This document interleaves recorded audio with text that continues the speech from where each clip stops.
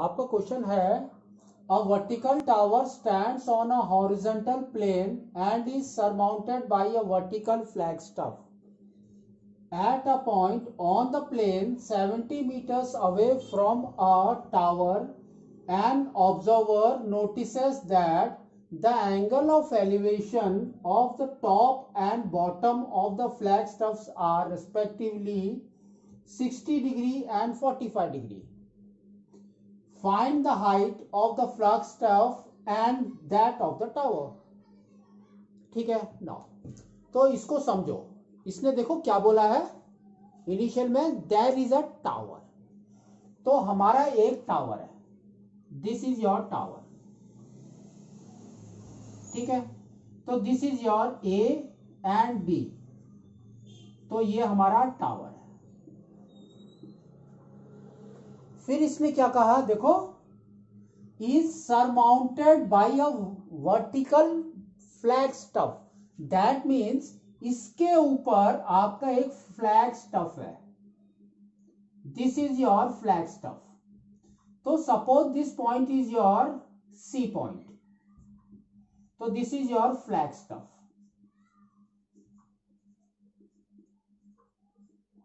ठीक है?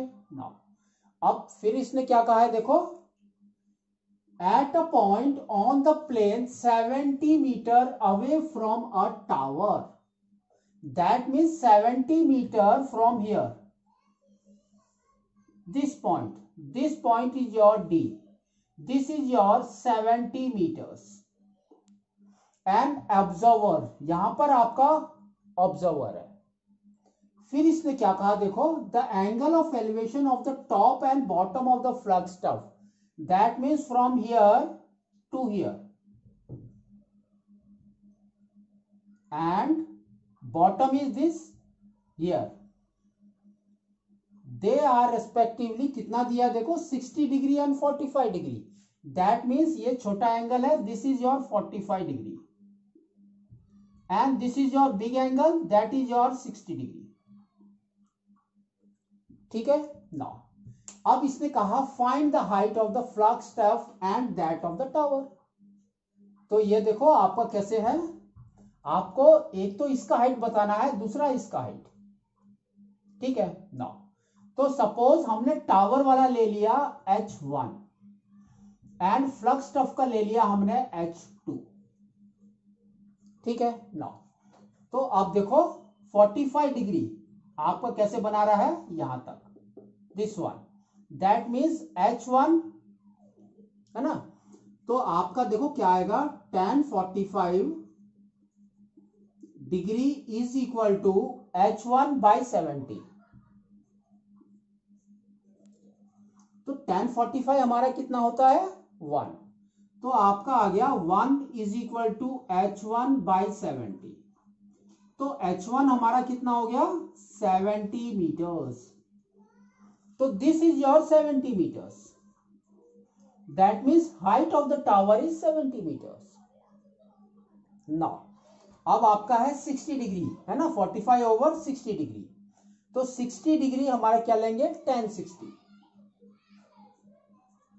तो tan sixty degree is equal to देखो, आपका 60 डिग्री क्या फॉलो कर रहा है? Full that means 70 plus H two is opposite 70 plus H two by seventy तो टेन सिक्सटी कितना होता है? रूट थ्री है ना? तो हमारा आ गया root three is equal to seventy plus H two by seventy now cross multiply करो you will get seventy root three is equal to seventy plus H two तो एच टू कितना हो गया हमारा?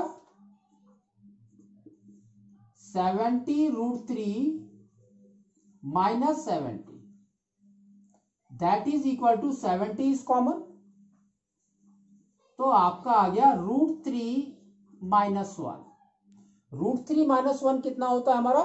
One point seven three two minus one तो root three का value हमारा होता है one point seven three two minus one gives you point seven three two तो ये आपकी वैल्यू क्या आ गई? Seventy into zero point seven three two that is equal to now seven से मल्टीप्लाई करो सेवन टू जो फोर्टीन और ज़ीरो को पहले लिख लो.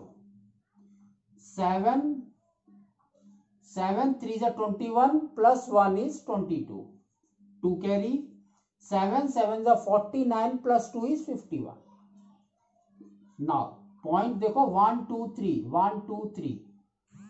तो यू विल गेट आपका कितना आ गया हाइट फ्लैग स्टफ़ का 51.24 मीटर्स ठीक है? और टावर का ये 70 मीटर्स तो इस तरह से आपको इसको निकालना